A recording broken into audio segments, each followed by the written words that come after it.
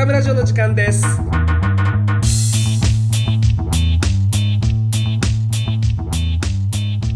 こんにちは中村城の時間です。本日もよろしくお願いいたします。ということで、えー、台風2連発皆さんいかがお過ごしだったでしょうか？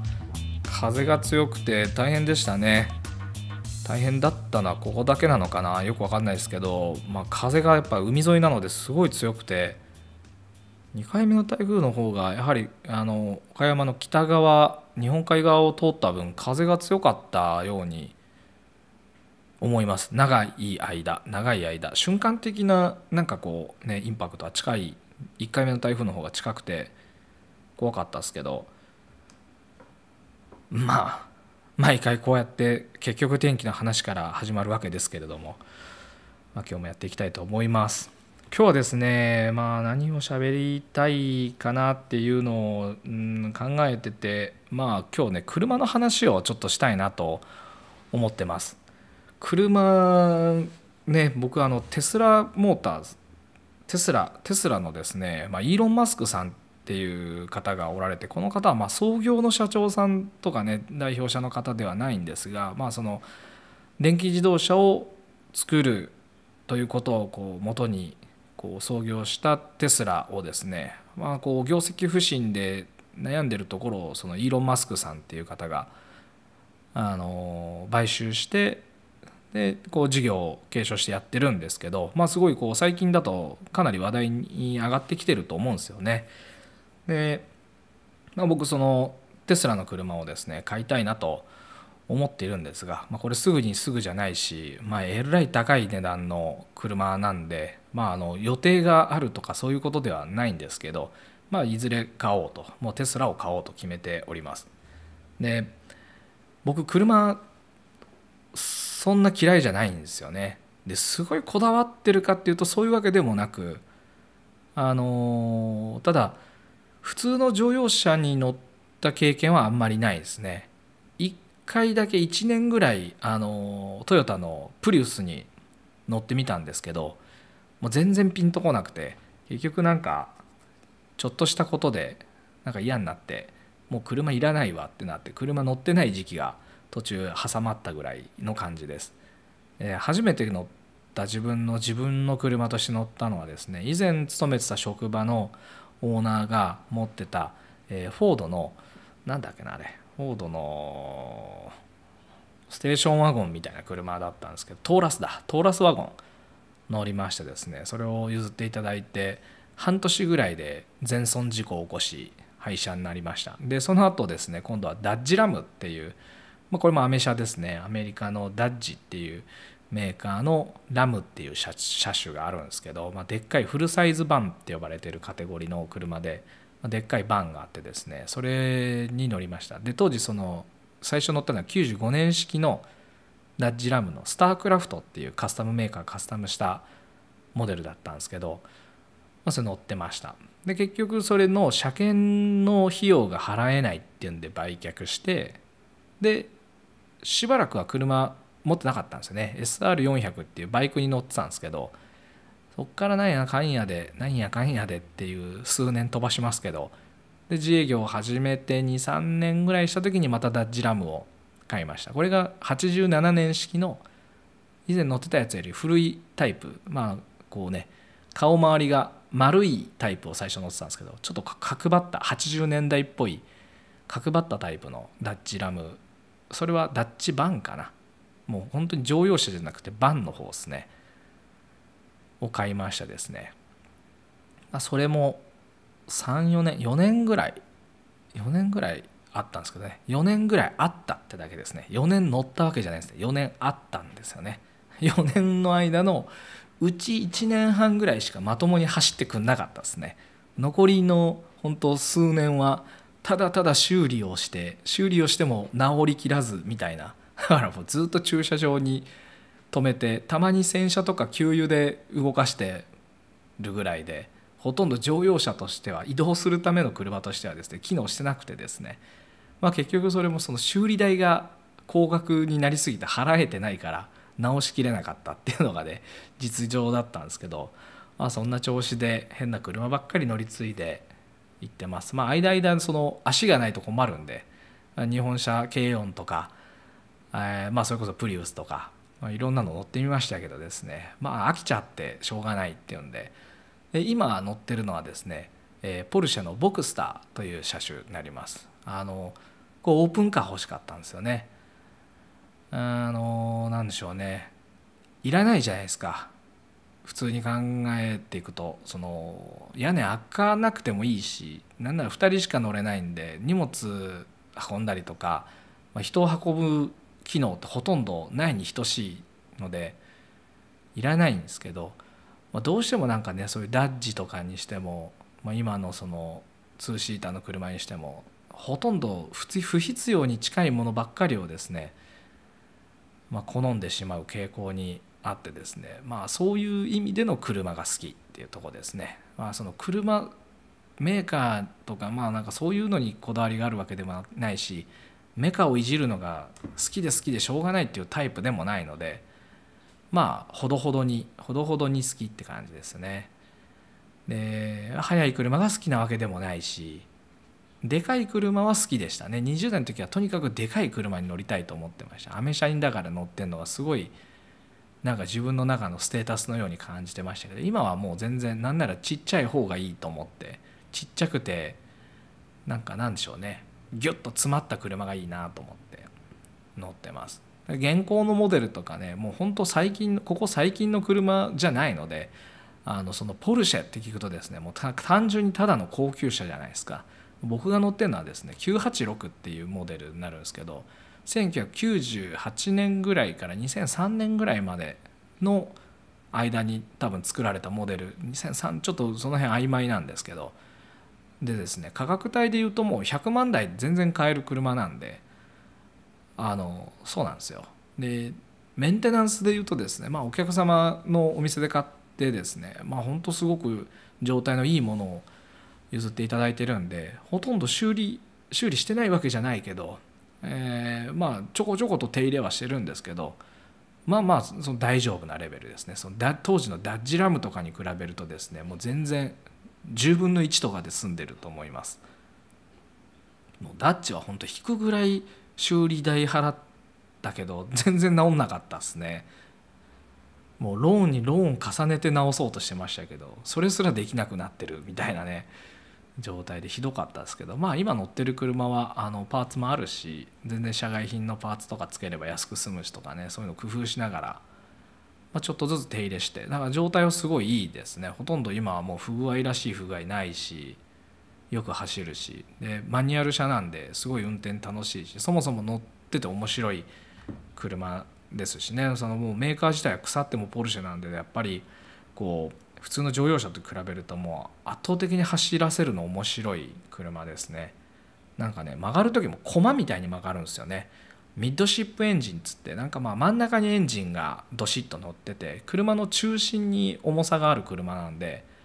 こう大体普通は前にエンジンがあったりとかまあ後ろにある車もありますけど大体もう前にエンジンがあって車重のバランスとかもまあ日本車の場合はそんなにこう走らせる車ではなくてどっちかっていうと貨物ですよね貨物？まあなんか人を運んだりとか荷物乗せたりとかするの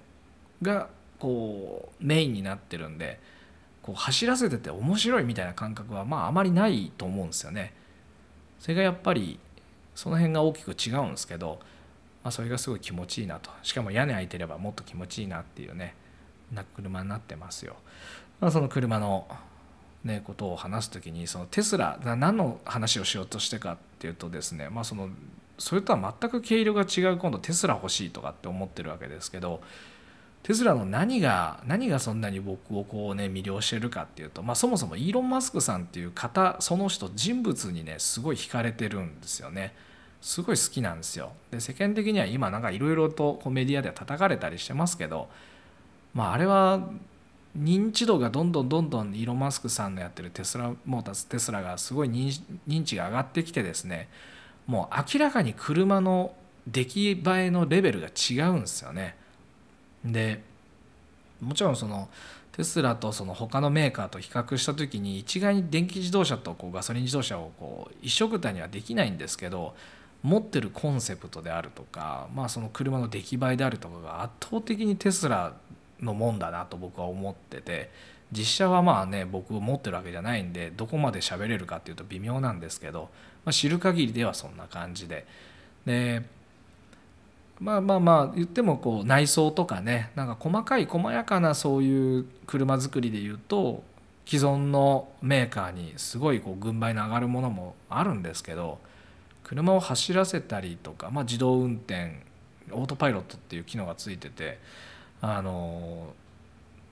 まあ、ほぼ自動運転させるために開発が進んでる。ただまあ法整備が整ってないのでその完全な自動運転まではあのまだ今はこうできてないしっていうとこですがなんかこうテスラの持ってるポテンシャルっていうところが完全に既存メーカーを脅かしてんだなっていうのをね昨今のこうメディアの総叩きなんかを見てると感じますね。やっぱこうテスラは広告費を使ったりしてないのでそういうメディアに対して広告費を出したりしてないので、まあね、逆に言うと既存メーカーっていうのはメディアを使って広告をしてるわけじゃないですか。だからお金を払ってるスポンサーですよね。どっちを良しとするかまあ是とするかみたいなね。メディアから見た時にどっちを是とするかって考えるとまあ当然既存メーカーを持ち上げるような話題っていうのが当然多くなるしなんならテスラをちょっと落としていこうみたいなバイアスがまああるんじゃないかなと僕はね思っていたりします。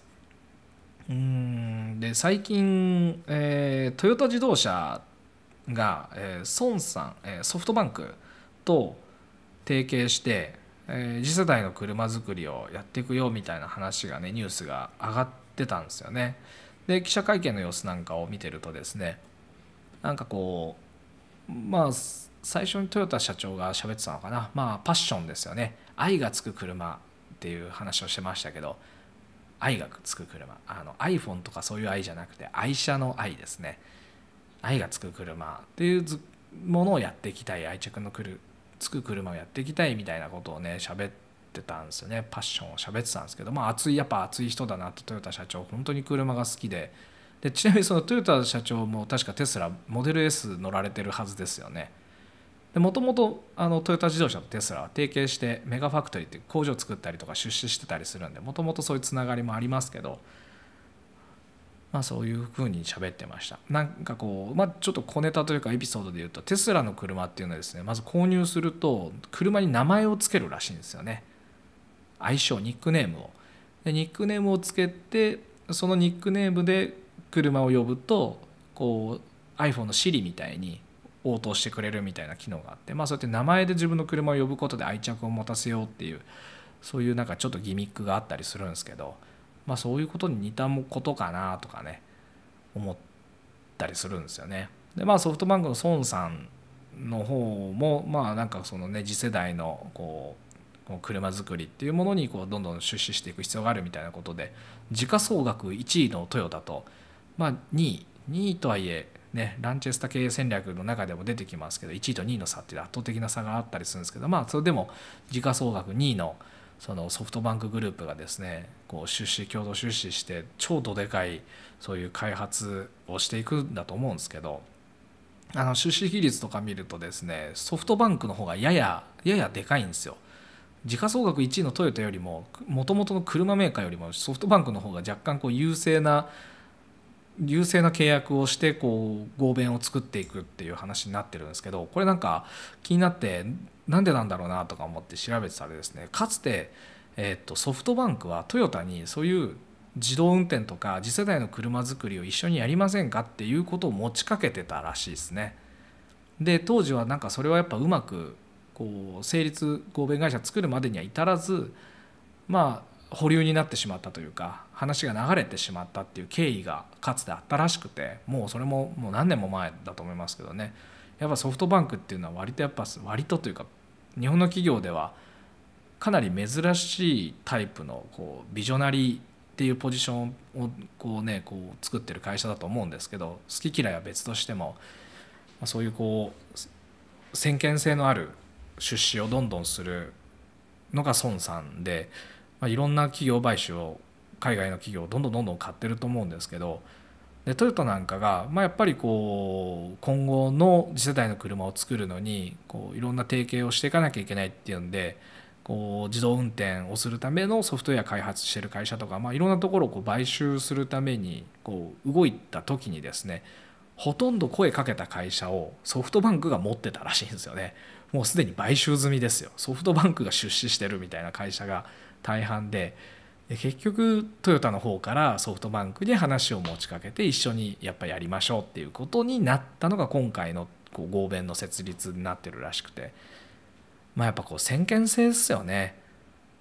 何をこれから作らなきゃいけないかっていうこう先見性を持てる会社でできればトップの人がそれこそそのテスラでいうとこのイーロン・マスクとかっていうのがこうコンセプトをバンとぶち上げてそれに向かってみんながついていくスタイルの会社とある程度トヨタみたいにかなり組織としてこうがっしりしてしまうとこのやっぱ中がサラリーマン化してんじゃないかなと思うんですよ良くも悪くも。でほとんどはいい面としてだからやっぱ出足が遅れてしまって、まあ、結局はこうね2歩3歩後ろを歩かざるを得なくなってるような感じなのかなと思ったりしてるんですよね。まあ、そんな中で僕はその自分が乗ってる車もっと言うと乗れる車ですね自分のこう許容範囲である車っていうと、まあ、やっぱりその新車の高級車とかが乗れるわけじゃないので中古の中古であったとしてもつまんない車じゃなくて面白い車を乗ろうとするとまあなんかやっぱそういうふうにうんチョイスがですね自分の選択肢はまその程度になってしまうんですけど僕はそれに対して今までその今乗ってるボクサーなんかに何の不満も感じてないしむしろこれを手放すことの方がストレスがあるんですけどなんかやっぱでもそのイーロン・マスク好きでテスラすごい乗ってみたくてでそれはこれまでのガソリン車とは全く違った性質コンセプトでありながら走りで言うとかなりそのうならせてると言い聞くんですよね。いろんな自動車の評論家さんとかのね僕清水さんっていう清水和夫さんだっけな自動車評論家の人の YouTube とかをねうん見てるんですけど見たりするんですけど、まあ、やっぱその自動車好きの人で僕がその自動車関連のこう情報を得てる人たちがもってしてもガソリン車はこれはもう勝てねえなみたいなところまで言わしめるほどテスラの車の完成度に対してすごい評価が高くてですねもう気になってしょうがないんですよね。で2016年7年ぐらいにモデル3っていうものの受付予約受付が始まって僕もそのアカウント作ってですね予約をまあ買う買え買える買えないとかね買う買わないとは別にまあ、予約だけしたんですけど納車がに、えー、と2020年早くて2020年2019年ぐらいから、えー、右ハンドルの生産が始まって2020年ぐらいに納車なんじゃないかっていうふうに言われてて予約をしようと思った段階ではですね納車なんかはもうほんと45年先なんじゃないかって言われてたんですよね。で、まあ、結局でも生産ペースはですねテスラの方がどんどん上がっててで世間ではですねテスラの生産は遅れてるみたいなメディアの報道をされてるんですが実際には週あたり目標の5000台はもうすでにあのクリアしてるんですよねテスラの工場自体は。で今バッテリーパナソニックがバッテリーを提供してるんですけどそのバッテリーが間に合ってないんですよ。そのバッテリーセルを作れないから納車ができない。まあイコールテスラが納車できないみたいな話で生産遅れてるみたいなこう評価をされてるんですけどもちろんその作れてない時期があったんですがねそれは事実としてあるんですがいまあ、だにちょっとそういう古い古い情報となんかくっつけて若干バイアスもかけながらテスラ作れてないみたいなね評価されたりするのはどうかなと思うし、まあ、イーロン・マスクさんもこうツイッターでうん株価を釣り上げるようなね発言をしたりしたんですけど、まああいう子供じみたようなところもあるのが僕はイーロン・マスクさんのこう個性だなと思うんですが、まあ、個性では済まされないそういうコンプライアンスの部分で引っかかってですね いろいろそれは本人のこう責任があるようなこともあるんだと思うんですけど、まあ、そんなの抜きにしてまあまあなんか僕はイーロン・マスクさんすごいすごい人だなと思ってこう尊敬していつもあのやってることをですね参考にして見させてもらったりしています。うん、ということでなんかその車に対してですねまあなんかこういろいろ自分の世代とか僕は昭和55年生まれなんですけど昭和生まれの男性っていうのはですね基本車好きな世代のまあ最後の方ではあるかもしれないですけど車好きな世代だと思うんですよ。で子供の頃のねおもちゃに始まりミニ四駆ラジコンでまあそういうのを経てですねバイクに乗りで車買える、ね、免許取れる年齢なり車買いみたいなんで憧れのあるこう世代で、まあ、今の若い子みたいに達観して車いらないって本当に達観してるのかどうかよく分かんないですけど、まあ、車いらないと思ってる世代じゃなくてもう僕の人生はですねまあその一貫して車を買うために生きてる人生かなと思ってる節もありますので。やっぱ乗りたい車に本当に欲求を全部満たせるなら全部乗りたいですよね全部乗ってみたいですよでそのために仕事頑張ろうみたいなモチベーションがあるんだったらまあ別にそれは悪いことじゃないと思うから、まあ、車ね贅沢してやろうとは思わないですけど、まあ、乗れる範囲のその自分の許容できる範囲でいいんですけど、まあ、車やっぱ面白いですよね。あとやっぱ最新のテクノロジーとかの塊だし、うん。ね、で今その最新のテクノロジーの塊なのは唯一テスラだけって感じですね。ドイツ勢にしても、まあ、イギリス例えばドイツだと最近だとメルセデスが GQL だっけななんか SUV を20年ぐらいに出すとか言ってたのもあれプラットフォームはもう完全に GL かなんかのプラットフォームエンジンエンジン用のプラットフォームの中にうん、バッテリーとかを仕込んでモーターとか仕込んででじゃじゃーんみたいなことを発表しててもうなんか本当開発する気もないしできないんだなと思ってあのメルセデスをもってしても電気自動車はテスラに比べると10年、まあ、20年は言い過ぎかもしれないですけどどんなに少なくとも10年は後ろを歩いてる状態だなと思いました。で、まあ、他にジャガーとかね、えー、もう出してましたよね。ジャガージャガーはプラットフォームを独自に EV 用に作り直したりしててあれはちょっとかっこいいしあまあ頑張ってやってんのかなみたいな見受けられて。で他にはま中国勢なんかが EV を今開発してると言いますけどあんまり情報出てこないんでよく分かんないとこもあったり。国内だと日産がねリーフを発売しててまあもう今2世代目になるんでリーフなんかはすごいこうアップデートされてすごいなと思いますけど、まあ、あれもほとんどテスラのやってることの後追い後追いを CM なんか見ててもまあもうテスラがすでにやってることの後追いを頑張ってこう最先端最先端っていうふうに自自称しながらやってるなと。悪いわけじゃなくて日産をディスりたいわけじゃなくてまあでもやっぱりもう突っ走ってるテスラの後をみんなが自動車メーカーが追っかけてんだなっていう構造に今なってると思うんですよ。ただ国内でほとんど走ってないのであの増えてはきてるの増えてはきてるみたいでよく見かけるようにはなったんですけどやっぱそれでもね絶対数が全然違うんであんまりピンときてない人も世間的には多いんじゃないかと思うんですけどもう圧倒的にテスラの車がいいだろうと思うんですよね。まあ、国内だとそうやって日産とかがやってますし片やまあトヨタなんかはねこう盤石になってから手を出すみたいなもともとそういう性質の企業だと思うんで、まあ、今やってるプリウスとか PHV なんかがこう EV に移行してくる、まあ、過渡期なのかなとも思いつつあんまりでもパッとしてないですよね。もともとパッとする車を作ったりしないからこんなもんなのかもしれないですけど大衆向けに売れる車を作れるようになるまではまあ様子見てんのかなっていう感じで。もうマツダとかはデザイン良くなりましたけどマツダのこれディスすると広島の人たちに超怒られるし嫌がられちゃうかもしれないですけどマツダはマジでやばいと思うんですよね僕。ディーゼルでね押そうとしてますけど絶対無理ですよ。これはもう絶対だと僕思いますね。うん。まあディーゼルとまま行くならですけどね。マツダもったいないんでね頑張ってほしいですよね。日本企業今もうほとんど世界中の中でその企業で話題になるのってもう日本企業ないじゃないですか。唯一自動車ぐらいしかこう産業としてはこう世界で戦えてないと思うそんなことはない。それはちょっと僕が無知すぎるんであのそこはそんなにこう強く激しく言いたいわけじゃなくてもうあの誰でも分かる分かりやすい企業として上場してるこう、ね、誰でも知ってるような企業の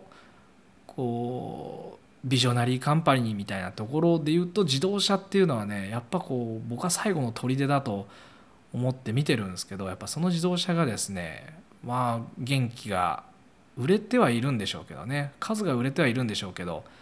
なんかこう面白くないなって見えてて思うんですよね。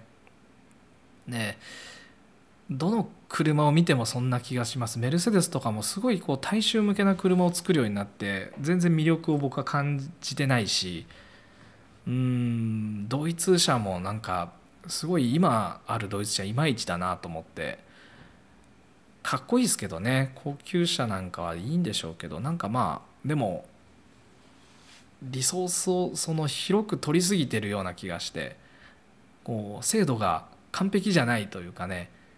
なんか突き抜けてないなと思います。だその点で言うとポルシェなんかはバリバリ突き抜けてやってるんじゃないかと。SUV とか出してますけど出してますけどカイエンとかマカンにしてもこうやっぱねこうポルシェらしいとポルシェファンの人たちまあ911とかのもうゴリゴリのポルシェ好きっていう人は分かんないですけどでもやっぱその他の SUV とは一線を画したこう車作りをやってるっていう点では、まあ、ポルシェはまた別格すげえなと思ったりするしまあでもそれぞれあるのかな、まあ、知らないだけかもしんないんでね、まあ、あんまり好き勝手なことばっか言ってもしょうがないですけど、まあ、結局何が言いたいかっていうとテスラテスラがすげえ良さそうだっていうことをねまあ言いたいなと。言いたいな。もう何の話してんでしょうね。車愛があんのかないのかもよく分かんないですけど 浅い知ってる浅い知識をひけらかして 終わりになりそうです。いやもうテスラが欲しいんですよ本当に。テスラ乗ってみたいんですよ。現行の車とかで言うともうねどえらい値段するんでちょっと変えたもんじゃないですけどあー EV EV どうなんでしょうね。乗ってみたいですね。はい。まあなんかこう最先端ばっかりが好きなわけでもないけど体験したいです。新しいことを体験したいなと思います。なんかいろいろちょっと今気になってる新しいことっていうのはいくつかあってまたもうとっちらかしていってやろうとね。もうどんどんとっちらかすことに関してはもう何でしょうね。もう是正できないですね。自分自身が。抑えが効かなくて。ただ時間をねこう無限に使えるわけじゃないので、まあ、もうちょっとうまくやっていきたい気持ちともうやってみたい気持ちとかね葛藤してでやってみたい気持ちがもう必ず勝ってしまうんで。もう最初から葛藤する時間ももったいないからやってみたいことはやっちゃおうみたいなね。結局結論に行き着いてしまう日々なんですけども。こうね今後もどんどん突っ走っていきたいなと思っております。はい。全然結局まとまらないしね掘ってもいかないしいつも通り浅い水面をパンパンと弾くような浅い浅い30分をお付き合いいただきまして誠にありがとうございました。ちょっと最後に今日はあの告知をさせていただきたいなと思っておりまして、え11月の19日になるんですけども、え愛媛でえセミナーをさせていただきます。11月の19日1回目。でこれ全部で3回ありましてですね12月の10日月曜日。でえ3回目が3月中旬ぐらい来年年明けて3月中旬ぐらいの3回にわたってですねえー、同じ愛媛であのセミナーをさせていただきます。1回目はですねあの認知認知をしていただくっていうことで、まあ、あの僕の自分自身の紹介はもちろんなんですけどなぜこういううん散髪屋の方を運営運営するにあたって散髪屋のシステム自分のそのビジネスモデルをいかにこう変えてきたかそれはなぜ変えたかとかね中村商店ってそもそも何やってるもんなのかそれがあのただのね、こうカリフっていうクロスカッティングクロスとかケープとかいうそういうただのアップパレル業務用のアパレルツールを企画して販売してるだけではないと僕は自負していて、まあ、それは何のためにそれをやってるかっていうところのこう内訳をですねもうちょっとこうコンセプトをしっかりとこう理解していただけたらいいなと。でこれはもうあのうんまあいいやあのこれはまあ会場で喋りましょ